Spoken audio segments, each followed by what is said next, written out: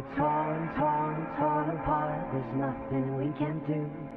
Just let me go, we'll meet again soon.